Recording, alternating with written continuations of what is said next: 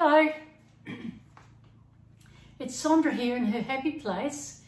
Um, this is interesting. I'm trying to get some depth into my painting, trying really hard and thinking of ways of creating it. And what I've done, this is not finished, but if you can look really closely, you can see lots of mixed media in here.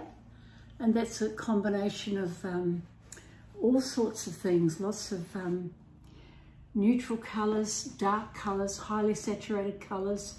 When, when I say highly saturated, I mean very bright colours.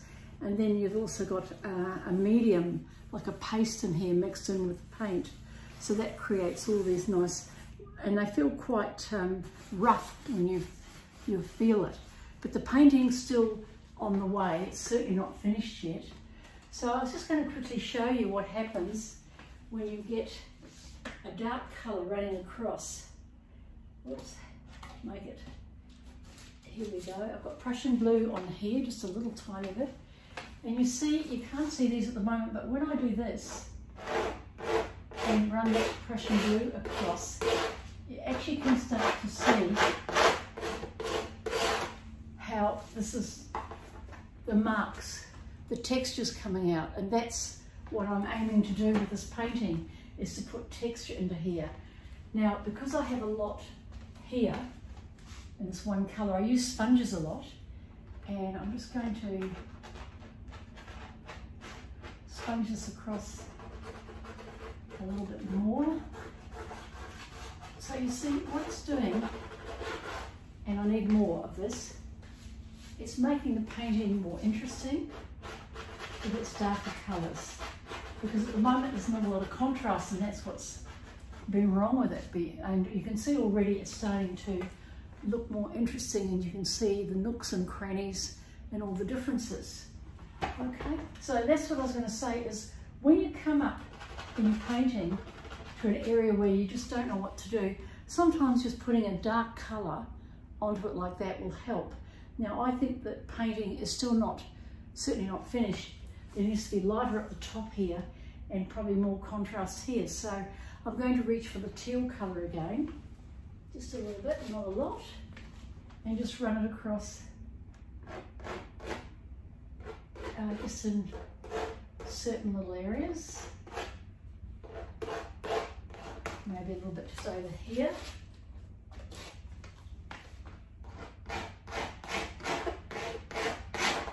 There, now that um, to me has given it more life. But I'm certainly not happy with it, but I, I'll hold it up so you can see it. It's certainly getting a more um, interesting look about it. And all the texture's there, it's just a matter of bringing it out. Um, it needs more lighter colours at the top here, but at this stage I'm concentrating on the bottom part. Now, I think it needs a lovely big strong contrast of a colour. And I've been thinking about this and I came up with the idea of using one of my favourite colours, which is burnt sienna. Can you see it there? It's a really deep, beautiful, deep shade, which will look quite good with that, I think. So here we go. And just remember, whatever you put on, you can take it off. You just get a, a bit of wet rag or a wipe, wipe it off. You can also paint over it. So nothing is ever wasted, okay? Uh, don't ever be afraid to experiment. If you don't experiment, you don't know what's going to happen. So I'm going to try and put um, interesting shades across here and run it in different ways, not following exactly the patterns. And maybe just a little bit up the top here because we need our eye to run around the canvas a little bit. I'm going to leave it up there and we'll work that one in, okay? So now I think that's looking a lot better. We'll put a bit more in, I think. I think it could take a little bit more, maybe running down. And I think it could take some in this area here, so that you've got this burnt sienna toning coming in as though you've got lovely light coming across. Okay, now that's certainly not finished. Next thing I do is get, oh, that's too hard. This is better. A sponge, I love a sponge, use them a lot. And I just, it's slightly damp, so I'm not going to wet it, and I'm just going to rub the sponge around.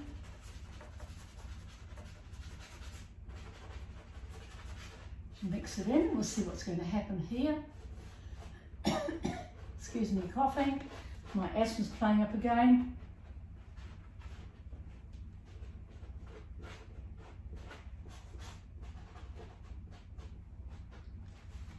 Okay, so that's still a bit spotty, as you can see, not happy with it. So I'm going to get what I use a lot. I use these little brushes a lot to blend in the work, the colouring. So I get a little bit of water, not a lot, just a little tiny, and start blending the colours in.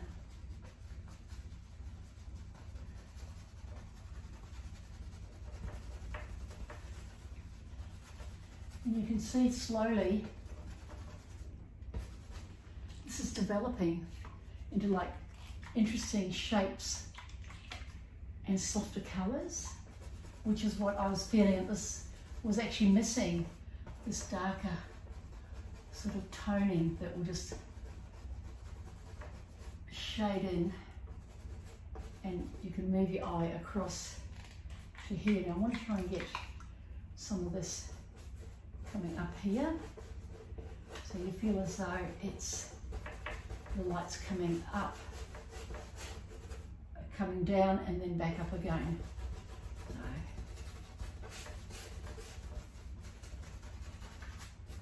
wow. Now always stand back and look. That's looking a lot more interesting. It's more colour variation, more different values, more toning, and these clouds are starting to stand out.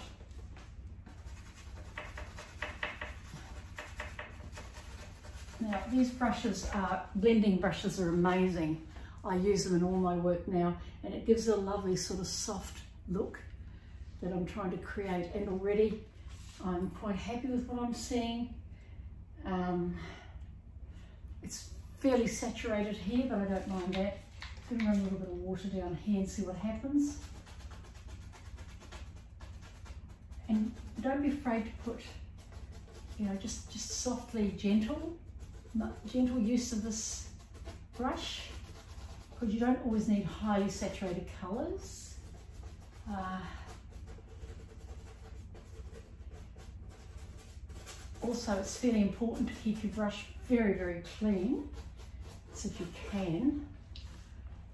All right, now I need to spend a little bit of time really standing back and looking at this.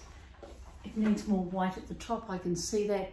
But from when I started to now, it's looking a lot better, isn't it? And this is what painting's all about.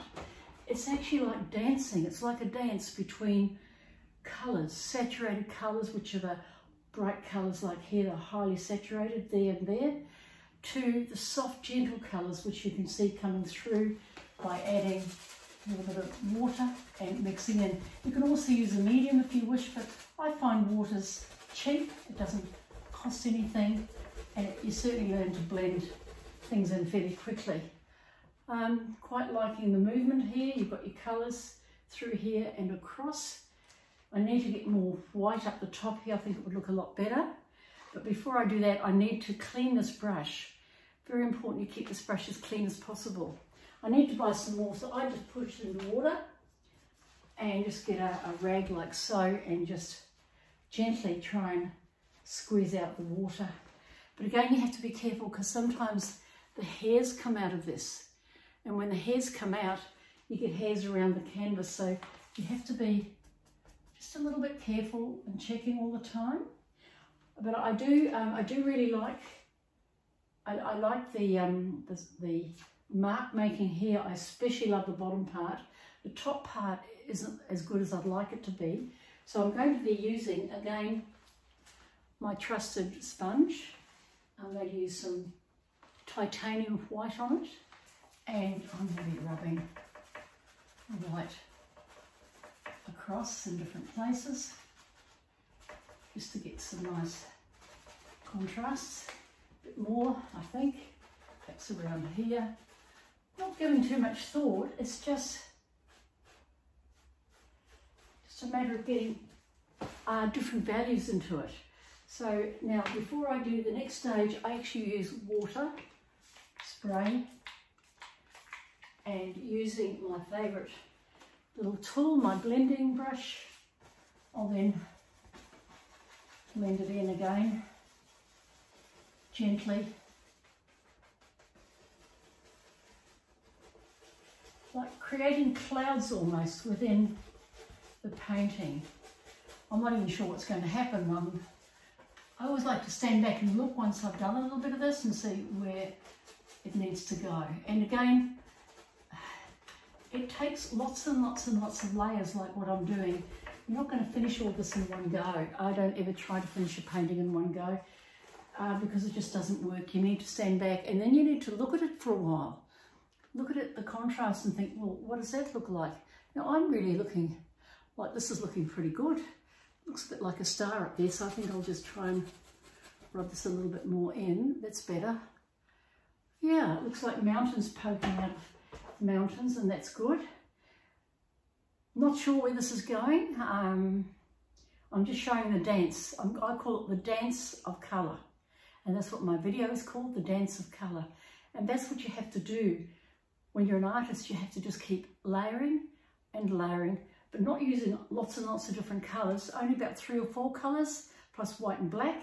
And I've got hardly any colours here. I've got um, oh, burnt sienna, Prussian blue, I've got this teal colour, and I forgot to show you. This is uh, yellow green, which I'm actually putting onto the brush here. And you can see, I'll run it across, suddenly you get this yellow-green toning. Um, and I've got that around in different parts. Again, you don't need a lot of it. It's just a matter of um, coordinating so your eye runs across the canvas. The yellow-green, you might want to put a little bit up there and maybe a little bit down here. And when you find you've put too many colours, you've got to then take them off again, rub them off. I use it an old rag a lot, like this, and I can rub it like so. You've just got the suggestion of that, yellow green. Don't rub it up so much that you end up with nothing, that's not the idea, but just to show that you've got the suggestion of this colour. And I think that's given it more values again. There. Okay, so I suppose we'll leave it at that because I, I could just keep going. And, you know, I don't know when this is going to be finished yet. It's getting close, but it's not there yet. Um, I'm just looking here. I'm not too sure about this big marker going to there because your eye's going there and uh, here and then up here. And then it's coming to maybe here but it's coming out to nothing. So I need to do something about putting some marks over here. Okay, because I don't have enough toning around this area here. Um, and you can see I'm just marking it as I'm standing here. Um, so that I don't lose the spot where I've some toning into it. And again up here. it's that yellow-green toning, which is rather nice. And it's, uh, it's one of my favourite colours that I love to use. Okay, well, I'm not too sure about that there. And if you're not happy, you can always just get water. Just, I'll show you now. A little bit of water on the cloth and you can rub it off. And don't be afraid to rub and show the layers that come through because by rubbing you get lots and lots more different contrasts and the painting becomes interesting, okay? So, I think I'd like to see some more neutral colours into this. Probably uh, some yellow-green here, mixed in with white, which I haven't done. And this is, you know, this will give it, it's yellow-green with white and I've used my blending brush which is probably not a good idea because I'm going to have to really wash it out quite well soon. Um, and I, I think the secret is gentle, gentle, slow, slow. Don't try and finish a painting in one session because it, it, won't finish, you won't finish it to your liking in one session. And also sit on it, like that's better already. I think it's um, it's given a bit more contrast to it, more values, more neutral colours, quite liking it now. But you've got to sit on your paintings, look at them, think about it, give it some thought and think, what do I want? What do I like about this painting? What don't I like about it? What, where can I improve? Where does the eye go? And that's something I need to just sit and look.